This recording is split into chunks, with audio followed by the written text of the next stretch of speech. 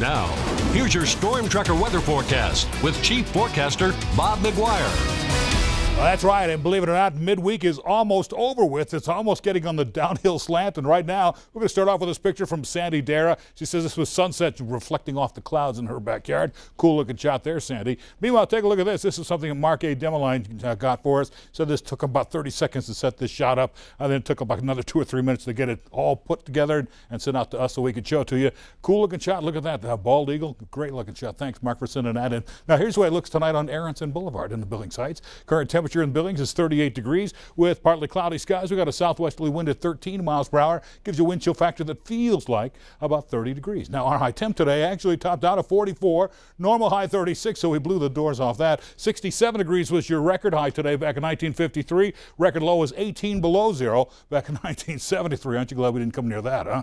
Meanwhile, as far as precipitation, nothing new to add to the total today. So we've only had one one hundredth of an inch of precipitation for the entire year. So we're a little bit behind normal for the year and also for the month. As we move on, you can see our current temps mostly into the 20s in eastern Montana, 38 in Billings, right through the central part of the state. We're into the 40s, a little cooler out in the west, into the 20s and low 30s out there. Now, these are our reported highs today, right through the central part of the state. We got really warm into the 40s and 50s. On the eastern slopes of the divide, we had some breezy conditions here. Those downsloping winds heated it up. Chinook type winds really cooked things up into the 50s out there. You get farther away from the mountains, we only got into the 20s and 30s. On the other side of the mountains, only 30s and 40s out there. Now, as you'll see here tonight, Doppler radar and satellite imagery shows we still have kind of a southwesterly flow of air over those mountains. That's why we're still on the warm side tonight. Plus, we're seeing some scattered snow showers in west central Montana, zooming up towards Great Falls. Most of this is very light scattered snow flurries, but by tomorrow morning, we could see in this area out in the west maybe some icing conditions on the roadway. So that's going to be tough. In the meantime, here's what's happening. We've got one storm moving on shore now, another one behind that out in the horizon.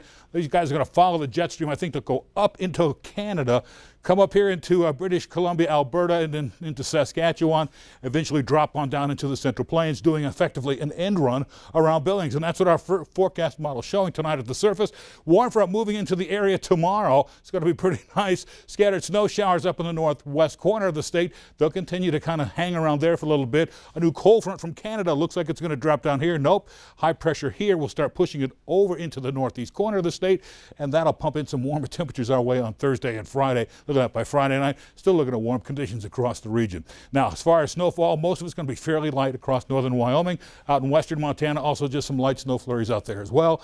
Now, tonight our temps will cool back down into the 20s and 30s in the west, back into the 30s and 20s back here in eastern Montana with partly cloudy skies tomorrow.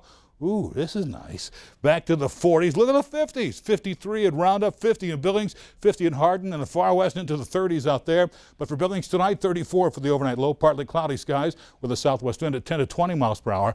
And so for the next seven days, 50 degrees on Thursday, mostly sunny skies. Sunny on Friday, Saturday, still 40s, upper 40s on Saturday. We'll stay 48 on Sunday, roll it back into the low 40s by the time Tuesday and Wednesday gets here. But look at this nothing but sunshine for the next seven days. Let's go back to the desk.